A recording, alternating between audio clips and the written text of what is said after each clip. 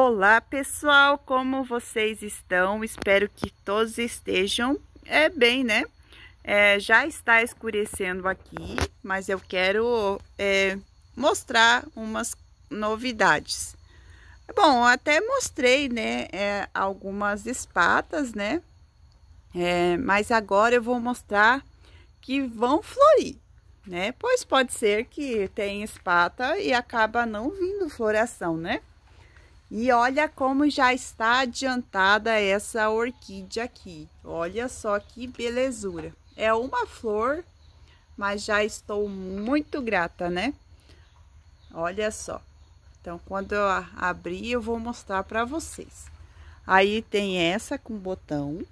Aí tem essa daqui, olha só que tá rompendo a espata ainda. Não dá para ver muito bem quantas flores vão vir aqui, né? Ó, que maravilha. Tem mais uma espata seca aqui, né? Mas não tem nada. É, e aqui, ó, pessoal, tem outra catleia.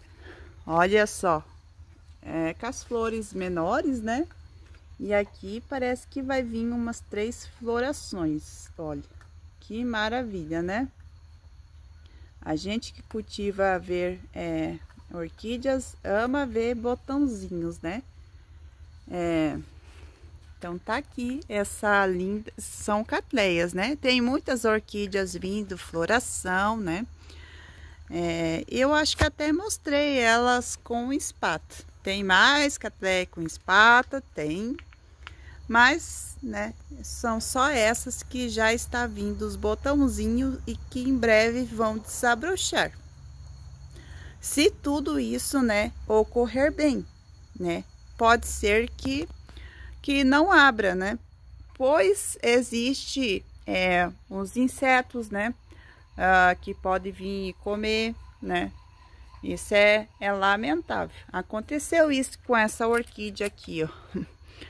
É, pensa no, desastre meu, né? Porque ela tava com espata, tava assim, tipo, é, tipo essa da, daqui, não, um pouco menos. Ó, tem até um bichinho aqui, ó. É uma formiga, né? Tudo bem. Formiga não faz nada de mal, né? Porém, já tem outros insetos, se você vê, é preocupante.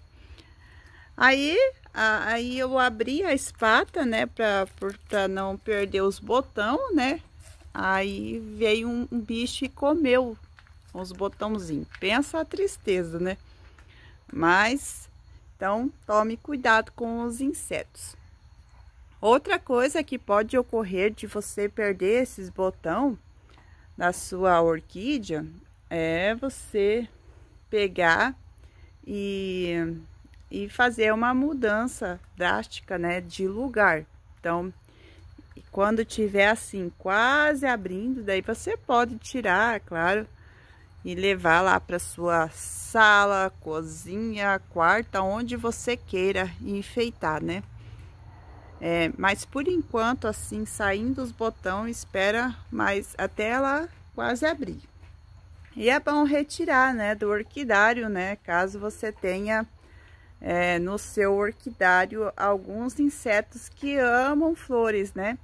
Eles comem as florzinhas, no caso, né? Que são as, as trips, né? E... Então, pode ocorrer. É, outra coisa que faz você perder esses botão é chuva em excesso, né? Então, é, talvez você possa tirar, né, da, da chuva para não perder a floração. E também tirando, é possível que acabe abortando. Mas se Deus quiser, tudo vai dar certo e em breve, em breve vou estar mostrando essas flores desabrochadas, né? Para vocês verem, né? E ai, Cris, a minha orquídea ela não floresce. O que eu posso fazer? Eu tenho um vídeo aqui no meu canal que eu falo tudo sobre floração das orquídeas. Tenho certeza eu que se você assistir esse vídeo, é, a, você vai fazer a sua orquídea florescer. Então, vou deixar na descrição. Bom, então, é, temos um encontro marcado, né? Quando elas florescer. E abrir a floração, caso esteja tudo certo, né? Então, pessoal, esse foi o vídeo. Espero que vocês tenham gostado. Por favor, deixe aquele joinha e compartilhe esse vídeo, né? E beijinhos da Cris. Tchau!